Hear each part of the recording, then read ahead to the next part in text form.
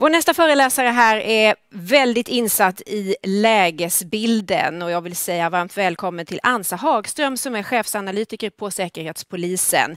Välkommen in Ansa.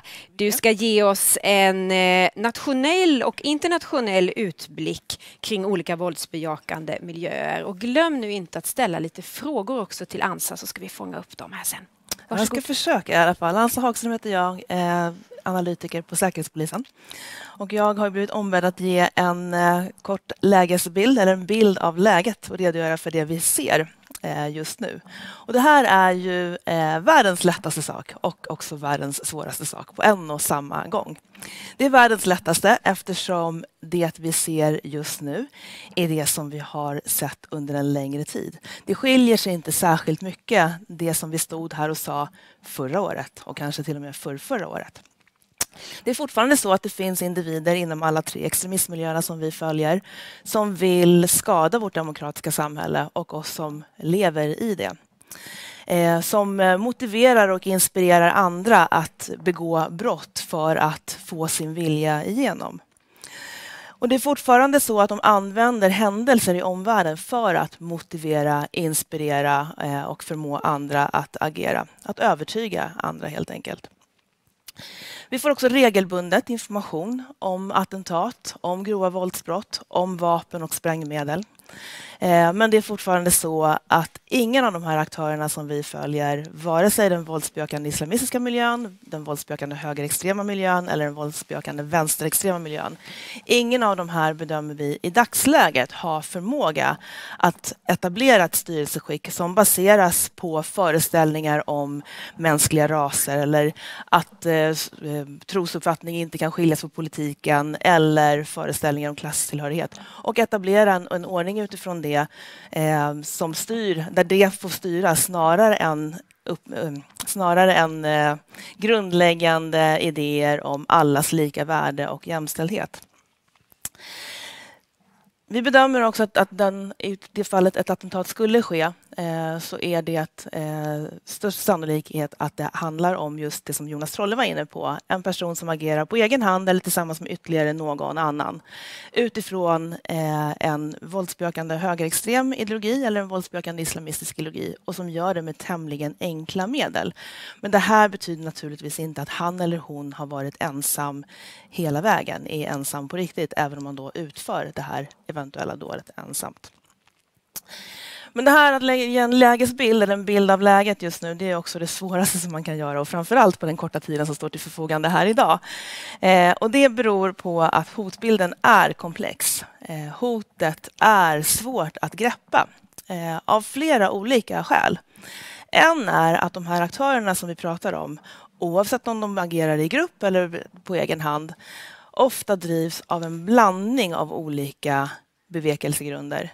Det ena är den ideologiska uppfattningen om hur världen är beskaffad och vad man ser som problem. Den, liksom den beskrivningen av, av samhället idag som man ger. Det är den ena, men sen finns det också en hel del personliga omständigheter som kan vara drivande. Och allting är ju inte heller vad det ser ut att verka eh, vara. Det vill säga att vissa sakfrågor som vi lite enkelt, tämligen enkelt kan tyckas eh, sorterar in under en viss extremistmiljö eller i en viss, ett visst sammanhang behöver inte alltid vara så.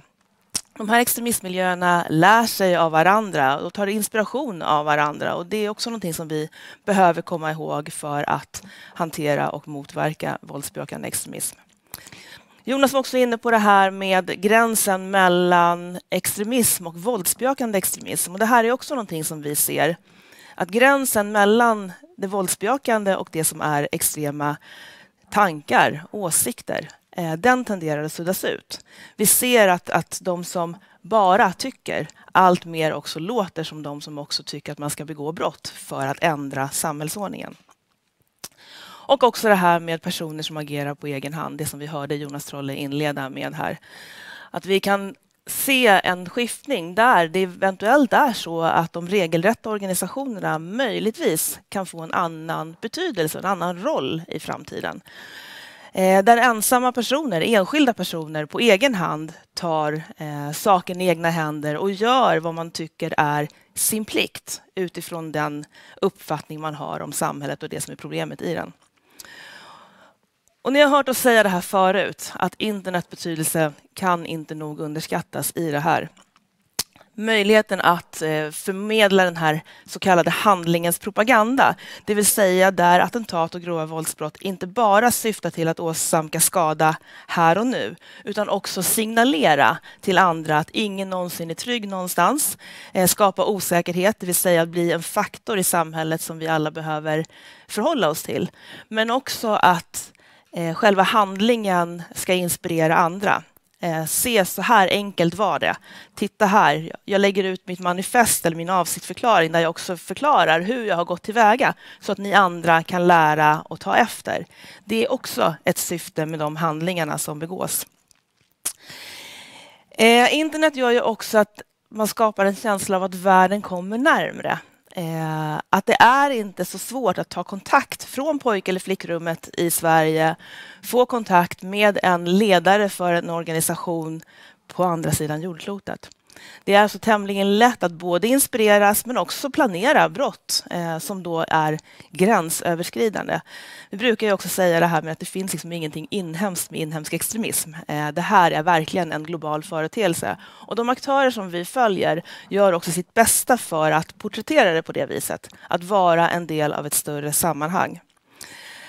Konkret så får man ju också eh, kontakter eh, betydelsebärande kontakter för de brott som man planerar eller begår. Eh, man kan också få bekräftelse för att man är inne på rätt spår eh, i deras bemärkelse. Eh, man får stöd. Ibland räcker det med att någon trycker på den här gilla-knappen för att man tycker att man har fått bekräftelse på just det. Och man skapar också en känsla av att det finns ett utrymme att agera. Eh, och man är också väldigt solidarisk. Man uttrycker solidaritet med andra som har drabbats av, av terrordåd eller andra grova våldsbrott. Eller solidaritet eh, med varandras sak i termer av eh, rättsprocesser och liknande. Vi brukar också prata om hotet på kort och på lång sikt. Det vill säga, när vi ska beskriva hotet så måste vi också ställa motfrågan om hot mot vem, mot vad och när. För vi behöver hela tiden hålla den här balansen mellan det kortsiktiga och det långsiktiga hotet och därmed också eh, arbetet med att motverka hotet. Det behöver vi ha i, i huvudet samtidigt. Så. Som sagt, vi ser att avsikten att begå eh, grova våldsbrott i syfte att ändra samhällsordningen fortfarande finns där. Vi ser också, vi får regelbundet emot information om attentatsavsikt, om grova våldsbrott, om vapen och sprängmedel. Men verksamheten som vi ser primärt och huvudsakligen det mesta av just nu, det är sånt som påverkar morgondagens hot. Det som handlar om tillväxt och om att skapa handlingsutrymme. Om finansiering, om radikalisering och också om det här som långsiktigt handlar om att polarisera samhället om att undergräva förtroendet för samhället och samhällets företrädare, om att misstänkliggöra. Och här finns det ju väldigt mycket händelser i omvärlden att dra om, växlar på. Det är allt ifrån storpolitik, amerikanska presidentvalet, eh, att kunna dra växlar på det som påstås vara ett valfusk, att spinna vidare på den typen av konspirationsteorier. Vi har också den pågående pandemin som också passar i alla tre extremistmiljöernas narrativ. Där man till exempel kan ställa omkomna eh, i pandemin relaterade eh, sjukdomar och liknande mot kostnad för invandring exempelvis. Och den trenden och tendensen som vi tycker oss se det är också att det här antietablissemangsfrågan blir starkare. Det vill säga att man ställer det här mot Eh, det styrelseskick som vi har nu, att man inte har gjort tillräckligt. Den eh, typen av retorik och den typen av narrativ är någonting som vi ser i större utsträckning nu, inte minst när det gäller våldsbejakande högerextremism. Och det är också det här som är komplexiteten, att det finns någonting just nu för alla. Eh, oavsett vilken ideologisk bevekelsegrund man har, så finns det någonting som vi kan, som alla kan ta till sig och spinna vidare på och använda, förstärka och motivera andra utifrån att begå brott. De lär och inspireras av varandra över miljögränserna eh, och de är också multikriminella i en bemärkelse. Det vill säga att merparten av brotten inte nödvändigtvis sådana av sådan karaktär att det hamnar på Säkerhetspolisens eh, uppdrag. Det ingår i Säkerhetspolisens brottskatalog om man så vill. Den här komplexiteten och svårigheten att eh, både i efterhand och i förväg utröna vad som har varit motivet till en viss handling, eh, det är otroligt svårt. Men det är ju inte skäl att inte ens försöka. Eh, vi ser att det vi gör tillsammans får effekt. Eh, det är viktigt att komma ihåg att vi lär oss hela tiden. Vi blir bättre och våra åtgärder blir mera stabila i takt med att vår kunskap blir djupare. Och här har ju inte minst CVE spelat en stor roll för att öka kunskapen om hur extremism fungerar så att vi tillsammans kan motverka den på lång sikt och på absolut mest effektiva sätt. Tack. Okej, vad intressant. Eh, vi har fått in lite frågor från er som eh, följer oss här idag och det är jättefint att se att det finns ett sådant engagemang. En fråga lyder så här. Ser vi att främmande makt nyttjar extremistmiljöerna för att främja sina intressen i Sverige? I så fall hur? Och det här är en fråga som finns med oss. Vi pratar om det här by proxy. Eh, extremistmiljöerna och främmande makt i det här fallet har ju ett gemensamt intresse av att just undergräva förtroendet för och med alla medel som, som står till buds. Eh, vi ser en del exempel på det, eh, men inte i termer av eh, vad ska jag säga, att det får tydlig effekt på brottsligheten. Det här är också en väldigt komplex fråga, just det här att spåra tillbaka vad som är vad. Eh, och många gånger så är vårt arbete av den arten att vi eh, behöver utreda det som är här och nu och hantera det. Eh, så att säga. Och sen har vi också en, en, organisatorisk uppdelning på vår myndighet som gör att jag kanske inte är den bäst lämpade att svara på just de frågorna just nu. Så. Vi har en annan fråga här som handlar just om eh, kunskapsnivån som du nämnde mm. här i din föredragning. Anser du att den har höjts vad gäller VB-frågor inom svenska myndighetsvärlden? Har man tagit det till en annan nivå? Ja, men det tycker jag verkligen. Och som sagt, mycket tack vare CVE och det arbete som görs eh, på CVE i termer av möten med kommuner men också de här kunskapshöjande eh, seminarierna och och rapporterna som har skrivits. Eh, jag tycker att det finns en, en förståelse för och en, ett, ett, som sagt ett högre kunskapsläge. Och det kan man ju också någonstans relatera till den här eh, frågan om, om återvändare som vi hade uppe också nu med, eh, som Jonas Trolle var inne på alldeles nyss också. Att om vi tar ett exempel för ett antal år sedan eh, så var Säkerhetspolisen ganska ensamma om att möta upp eh, personer som återvänder från konfliktområden. Idag så är det ju flera olika myndigheter och samhällsaktörer som möter upp och alla gör eh, bidrar så att säga till eh, det här. För någonstans är det ju också det här att när vi pratar om att motverka hotet på lång sikt. Vi behöver ju ha samma långsiktighet i vårt arbete som extremisterna har. De våldsbejakande extremisterna har ju en långsiktig målsättning som räcker generationer framåt. Uthållighet, ja. Precis, en uthållighet. Och det behöver vi också ha och inte bara kanske jaga pinnar här och nu mm. utan se på, på att bygga ett robust och motståndskraftigt samhälle. Men ser du att det, finns några kunskapsluckor ändå som du skulle önska att vi, vi stärkte och blev bättre på? Ja, men jag tror att vi alla skulle behöva påminna oss själva om just den här att det inte är antingen eller. Det är inte så att du antingen är extremist eller grov organiserad kriminell, så, utan att det här kan finnas eh, allt möjligt i det här. Men också just det här som vi var inne på, att, att vissa sakfrågor som vi kanske förknippar med en viss miljö eller en viss eh, organisation. Eh, det finns andra som också kan engagera sig i den sakfrågan. Vi behöver vara lite mera vidsynta, tror jag, eh, när det gäller extremistfrågorna. Mm. Du nämnde återvändarfrågan och jag är lite nyfiken där hur Säpo ser på, på den. Ska vi vara oroliga eller kan vi vara säkra på att Säkerhetspolisen har koll på de som återvänder? Vi har god koll och vi samverkar eh, med andra aktörer i samhället så att vi tillsammans har en god koll. Det vi ska komma ihåg här, för Säkerhetspolisens uppdrag och vårt vidkommande så handlar ju både resenärer och återvändare om förmåga. Vi pratar ju alltid om hot i termer av avsikt och förmåga. Och en resa, om man har företagit en resa till ett konfliktområde, vårt antagande här är att man har höjt sin förmåga och kanske också sin avsikt att begå brott i syfte att ändra samhällsordningen. Så det vi är nyfikna på är ju såklart vad den här personen, han eller hon, har gjort i konfliktområdet i termer av påverkan på hotbilden. Sen ska man ju också komma ihåg att det här är ju inte någon homogen kategori personer. Det är individer. Det är individer som har varit med om eh, olika saker och eh, har olika uppfattningar om sin tid i ett konfliktområde. Eh, några kommer tillbaka traumatiserade medan andra kommer tillbaka kanske mer övertygade än någonsin. Men också komma ihåg att de kommer också tillbaka till en kontext de reste ifrån. Det vill säga beslutet att resa togs ju någonstans i en svensk kontext.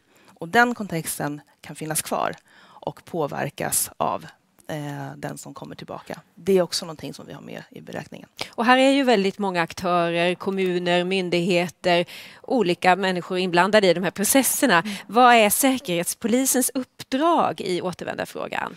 Ja, men vårt uppdrag är ju just som jag sa, det här med att vi hanterar ju brottsligheten. Vi har en viss typ av brott. Eh, det ska vara i syfte att ändra samhällsordning. Det ska vara ideologiskt motiverat och vi pratar om avsikt och förmåga. Det vi har på Säkerhetspolisen, det är ju en lyx att fokusera på just en viss typ av brott medan exempelvis Polismyndigheten har en mängd olika brott att hantera varje dag. Det gör ju att vi ibland har unik kunskap, eh, unik information och den delar vi såklart med oss av. Eh, det är väl vårt huvudsakliga mm. bidrag ja, det är bra i det här. få det klargjort tycker jag. En annan grupp som vi pratar om eh, allt oftare nu det är djurrättsaktivister. Mm som hotar lantbrukare. Är det där en gruppering som ni intresserar er för eller vad faller det in under?